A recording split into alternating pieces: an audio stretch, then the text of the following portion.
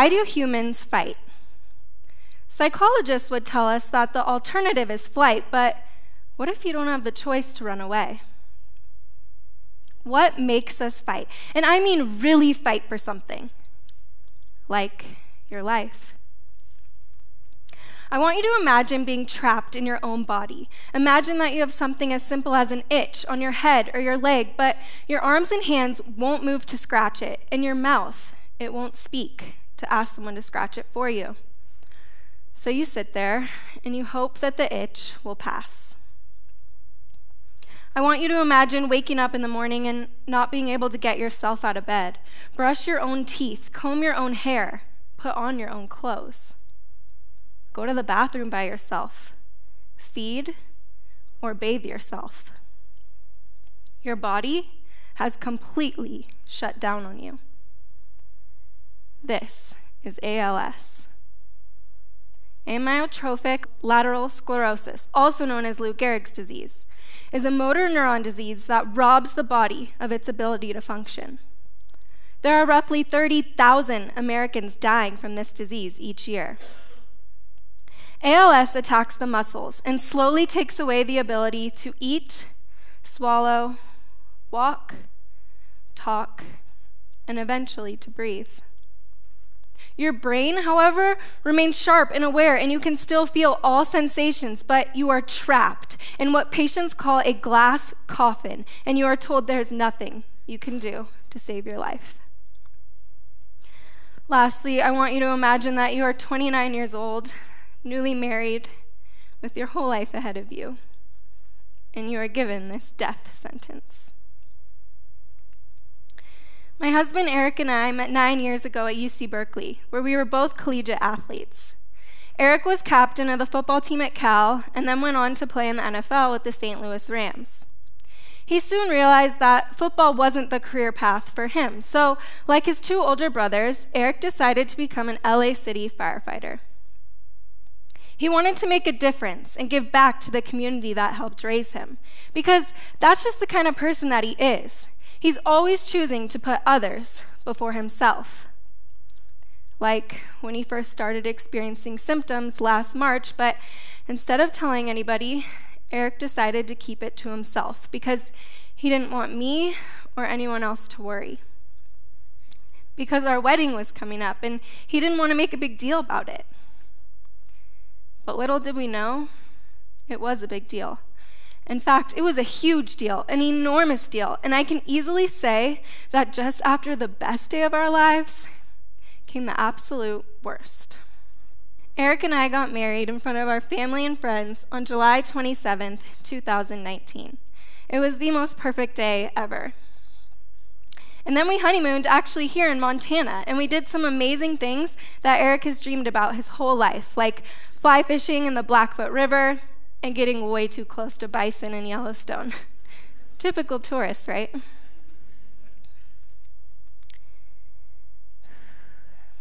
When we got home from our honeymoon, Eric started to tell me about his symptoms, like the weakness in his left hand and the twitching in his arms. So, of course, we went to Google.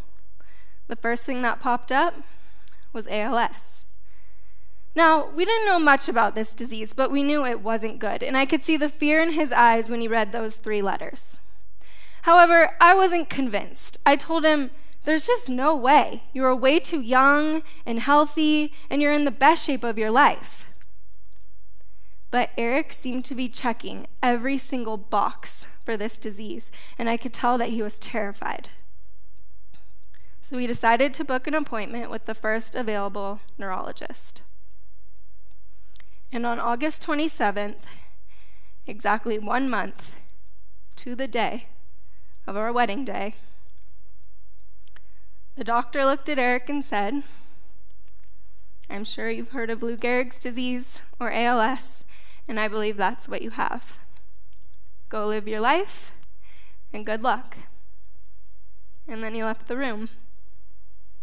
That was it.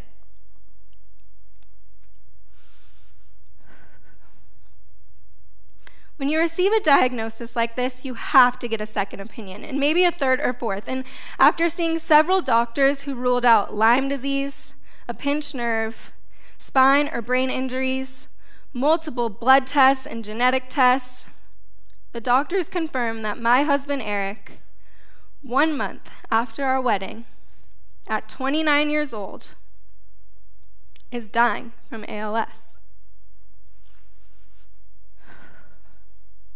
Now, let me take a step back a moment and explain for those of you that don't know that the life expectancy of an ALS patient is two to five years. Paralysis will come much sooner than that, and all daily life functions will be stripped away. This disease has been known for over 150 years, yet there are only two, yes, you heard that right, two treatment options approved by the FDA for ALS. These medications do nothing substantial for ALS patients, and many don't even choose to take them because of the negative side effects. So, as we sat there in the doctor's office, Eric looked up at him and said, Okay, tell me what I need to do. How do I fight this? The doctor explained that there aren't many options because, as we already knew, there's no cure for ALS. But he did say that there's hope. For the first time ever, there is a very promising stem cell treatment called NurOwn, and it's going through a phase three clinical trial. This treatment is made by a small biotech company in Israel called Brainstorm Cell Therapeutics. NurOwn has passed phase one, which tests the safety. It has passed phase two, which measures efficacy. And now, after being stuck in the FDA trial process for over 10 years, NurOwn is in phase three to collect data on a larger group of people. So we're thinking, all right, great, Eric has a chance here.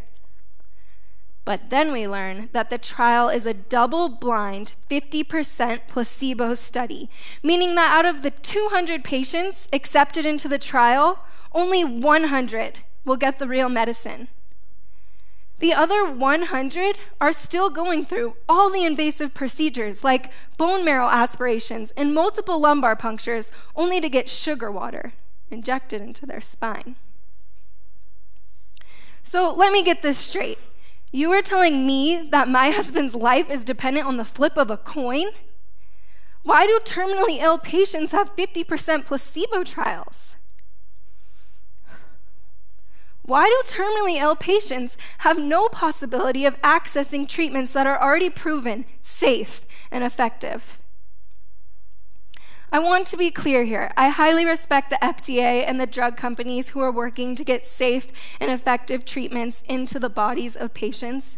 I respect science and I respect the process, but this, this is not working for terminally ill patients. And if you ask the FDA, they would say that there are options such as expanded access or compassionate use. But I'm here to tell you that these programs do not work for ALS patients. Right now, treatments for ALS, which is a fatal disease, are in the same FDA pathway as medicine for arthritis, headaches, and acne medication. NurOwn, the ALS treatment in phase three, has shown to slow, stop, and even reverse symptoms in ALS patients. This is the first time in the history of this disease that a treatment has done this. Meet Matt Bellina. Matt is a former Navy pilot, and he's currently receiving NurOwn under the Right to Try Act. Matt's the only patient receiving NurOwn out of the trial. He fought really hard for this right to try bill, and right now, he's the only one benefiting from it. Matt has had ALS for five years. He's been in a wheelchair for over two of those years, was a quadriplegic, and used a ventilator at night to help him breathe. After receiving several injections of NurOwn, Matt Bellina has lifted himself out of his wheelchair, started to walk with assistance. His breathing improved 37%, he ditched his ventilator, and he can now ride a stationary bike for 60 minutes. We're talking about someone who has been wheelchair ridden for two years and he is reversing his symptoms with NurOwn. Please take a moment to let that soak in. There are other patients in the trial who believe they are receiving NurOwn, although they don't know for sure because it is a double blind study. However, they're getting better. That doesn't just happen with a disease like this. Meet Phil Green. Phil played college football at the University of Washington, and now he's married with four kids. Phil has ALS and was an early phase 3 NurOwn participant. After receiving his three injections in the trial, Phil's progression of ALS stopped. Now his trial is over, his injections are complete, and he is cut off from NurOwn. He is starting to decline again. Meet Mark Bedwell. Mark has ALS and was also an early phase 3 NurOwn participant. Before the trial, Mark had difficulty walking and talking. After receiving his three injections, Mark speaks very well, is able to walk, and now he can even run. Mark's trial is over, his injections are complete, and he is cut off from NurOwn. And you guessed it, he's starting to decline again. These are just two examples of the many participants whose progression of ALS either stopped or reversed, and they are now cut off from the treatment.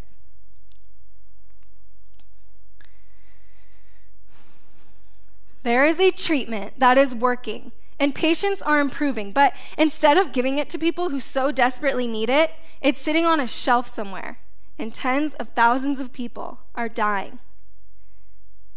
So, at what point does the scientific method surpass human compassion, decency, and common sense? While we wait for data, kids are dying. Brothers and sisters are dying. Mothers and fathers are dying. Cousins, aunts, uncles, grandparents are dying. My husband is dying.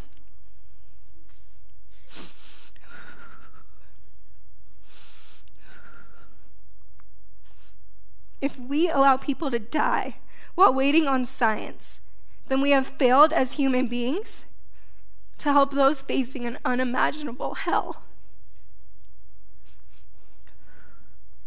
We need this treatment now for my husband, for Phil Green and Mark Bedwell, and for the 30,000 plus Americans who deserve that chance to fight. When Eric learned about all of this, he knew it just wasn't right. In fact, he would like you to think about it like this Imagine you are on a boat and you see someone drowning. You have a life ring on board, but you haven't tested the tensile strength of the rope yet. Are you just going to drive right by and let that person drown because you haven't tested the life ring? Or are you going to risk it, throw them the life ring, and give them a chance to survive? Patients need access to these treatments now so they have a chance at fighting for their life. Doing nothing is the worst possible thing for this disease. Each day, Eric wakes up and his left hand becomes a little bit weaker. His twitching intensifies and spreads to other parts of his body, like his legs, back, neck, and tongue. His legs give out more frequently, and his speech, it slurs just a little bit more. Each day without treatment is a day lost. Every 90 minutes, someone is newly diagnosed with ALS, and every 90 minutes, someone dies from ALS.